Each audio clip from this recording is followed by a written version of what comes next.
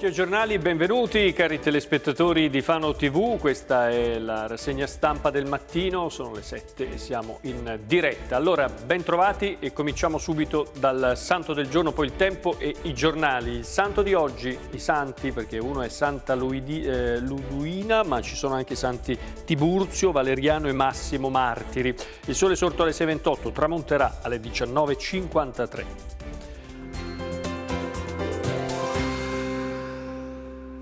Andiamo come sempre su trebimeteo.com, questa è l'immagine delle Marche questa mattina con ancora un, eh, la notte, questa la mattina invece con un po' di neve al nord della regione, 500 metri il limite delle nevicate, poi ancora piogge alternate a eh, schiarite, il pomeriggio migliora soprattutto da nord, da nord poi verso sud dove ancora avremo qualche eh, precipitazione, questa invece è la nottata. Andiamo a vedere giovedì, giovedì domani 15 di aprile. La mattinata si apre così con sole alternate a nuvole, qualche pioggia sul, sull'Ascolano nel corso del pomeriggio, poi migliora la eh, sera. Andiamo a vedere i titoli dei giornali eh, delle prime pagine. Carlino di eh, Pesaro, la fotonotizia Profilglass, fiamme e paura, incendio nella grande azienda di Bellocchi, danni ma senza feriti. Nasce invece la cittadella del pallone, sorgerà Villa Fastigi, prevede tre campi da calcio, sarà la Milanello di Pesaro, la firma della Vis sul progetto. Agenzie viaggio, hotel, palestre in provincia rischia di chiudere un terzo delle imprese, sono le previsioni di mass nerissime dei commercialisti. E sotto invece, anzi qui di, di spalla, troppi falsi positivi. A chi risulta contagiato subito il molecolare, lo screening nelle scuole, mentre a Fano mascherine senza certificati la finanza ne sequestra 300. Addio a Scatigna, medico VL e figura storica dello sport, aveva 85 anni e poi una donna che denuncia mi ha rapinato al parco, bloccato un ivoriano. Sotto la carica di eh, Carpani, salvarsi ad ogni costo, eh, parliamo di Fano, dell'Alma Juventus Fano e poi il risultato è omologato eh, per la VL, alla VL va il primo round, caso Robinson, respinto il ricorso di Bologna. Andiamo a vedere adesso il Corriere Adriatico, edizione di Pesaro, screening, un taglio ai tempi, l'operazione scuole sicure, il comune dice subito i tamponi molecolari agli agli alunni che sono stati trovati positivi. Ieri su 870 test eseguiti negli istituti superiori sono stati 7 gli studenti risultati contagiati. Eh, poi c'è il caso, il caso dei 600 vaccini dati all'Abruzzo, dalle Marche all'Abruzzo, l'errore di calcolo dell'area vasta 2, poi albergatori patto del San Bartolo per riportare i turisti, a Pesaro ancora coche e marijuana per i professionisti patteggiati tre anni, il sit-in della destra nel luogo del 25 aprile fa arrabbiare eh, l'associazione dei partigiani. Eh, e ancora sotto la Profilglass, alla Profilglass torna la paura per un incendio, fiamme domate in un'ora e poi basket, VL, cielo ok per la vittoria a Bologna e oggi la sfida è a Brindisi.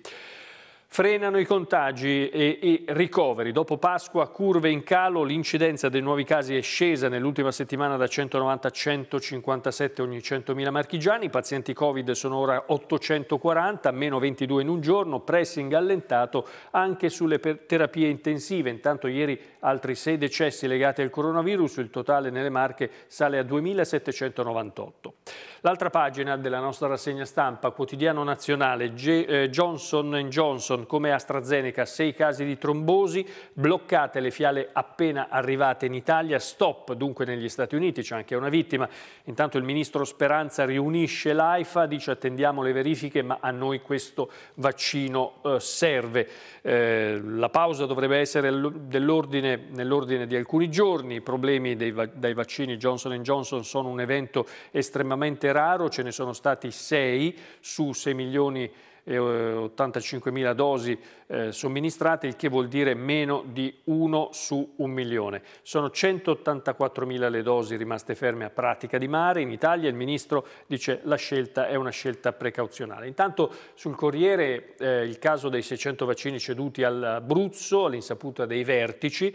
Le Marche dunque prestano i vaccini all'Abruzzo. Nel pomeriggio di domenica 100 flaconi di Pfizer, 600 dosi in totale, sono transitate da Ancona all'Aquila dove la carenza dei sieri rischia di far registrare una battuta d'arresto nella somministrazione. Stando ad una prima ricostruzione nel fine settimana appena trascorso, l'area Vasta 2 avrebbe chiesto una quota di vaccini superiore al necessario, dunque ritrovandosi con dosi in eccesso che rischiavano di essere buttate. E dunque forse per un errore materiale, una cattiva comunicazione o una discrepanza tra i dati sulle prenotazioni e le, reali somministrazioni da fare, insomma alla fine per non buttare via tutto, eh, insomma, questo, sono stati dati questi vaccini eh, all'Abruzzo, anche perché non c'erano elenchi eh, a cui attingere, elenchi eh, magari da contattare e di conseguenza per non buttarli è stato dato Almeno questo secondo una prima ricostruzione. C'è un'intervista invece a pagina 3 del Corriere Adriatico di oggi, andiamo a vederla, Torrette riprende i suoi spazi, i reparti saranno normalizzati,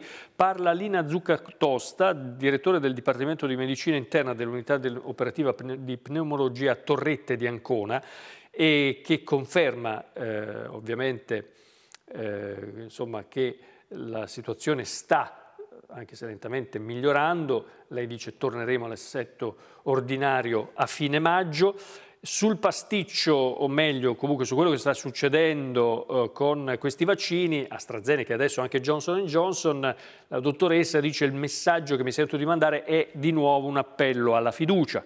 Nessuno sta andando a fare un vaccino alla cieca, nei centri dedicati alle somministrazioni ci si trova di fronte a medici molto preparati. E adesso eh, vi presento due storie, due storie marchigiane, sempre legate al Covid. La prima arriva eh, da Ancona, anche se poi si è, eh, si è eh, sviluppata a Parigi.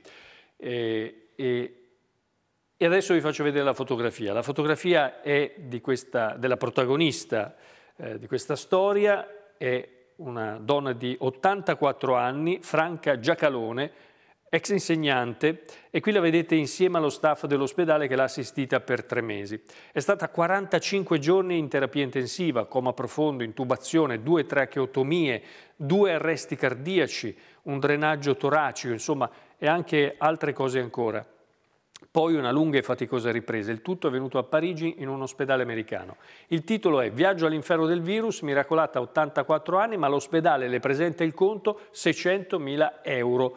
Eh, era andata lei a trovare il figlio Roberto, che lavora appunto a, a, a Parigi, e Roberto dice l'ho vista morire due volte. Dopo tre mesi di degenza in una struttura americana, l'amara sorpresa della spesa, per fortuna poi ci ha aiutato l'ambasciata italiana. Qui troverete tutta la storia, potrete leggere tutta la storia, e poi il racconto continua dicendo che quando gli hanno chiesto la caparra, mi pare 100.000 euro, lui dice ho bleffato, i soldi non li avevo ma dovevo salvare mia madre a tutti i costi. Poi alla fine, insomma, è andata bene, eh, insomma, non, non, non, non ha, non ha dovuto pagare nulla, questo tutto grazie ovviamente anche all'ambasciata, eccetera, eccetera. Poi mh, si è fatta il vaccino, la signora si è fatta il vaccino, ha avuto 41 di febbre, però anche questa volta eh, ha battuto anche l'influenza, insomma, davvero una tempra molto, molto forte. L'altra storia invece marchigiana, sempre legata al Covid, la andiamo a leggere a, da Porto Recanati. Eh, questo signore ha 58 anni, si chiama Giovanni Valerio, eh, ha preso una multa il 27 gennaio eh, dalla Polizia Amministrativa di Macerata per una multa di 400 euro per violazione delle norme anti-Covid. Quella mattina questo 58enne era entrato nella pizzeria Marcorda di Corso Matteotti a Porto Recanati e aveva ordinato un caffè per scaldarsi dal freddo. Subito dopo erano entrati questi due agenti borghesi che avevano multato l'uomo perché a loro detta stava violando le restrizioni dettate dal Covid. È in carrozzina, lo vedete, è, eh, ha la distrofia muscolare, eh, però insomma alla fine eh, la bella notizia, il lieto fine è arrivato ieri verso le due del pomeriggio quando il suo avvocato Chiarugi ha ricevuto l'ordinanza della prefettura eh, firmata dal viceprefetto Giulia Minicucci, eh, Minicucci e che ha disposto l'archiviazione del verbale. Il pizzaiolo ha detto ha prevalso il buonsenso, faremo un brindisi fuori dal locale. Le istituzioni hanno capito che si era trattato di un eccesso di zelo.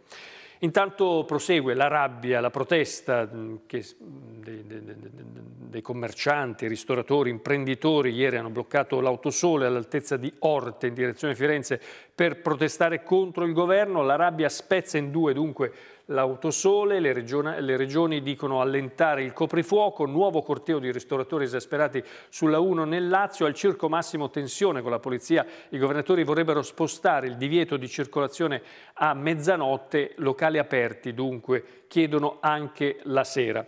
A Senigallia in strada anche ristoratori, eh, ristoranti stellati, siamo arrabbiati e disperati ma pacifici tra gli imprenditori che hanno manifestato anche la sorella e la moglie degli chef Ugliassi e Cedroni, vogliamo certezze, qui c'è chi rischia. E tra le cose che si sono sentite ieri ci siamo tutti, ristoratori, istruttori di fitness, titolari di gelaterie, bar, pub e piccoli artigiani.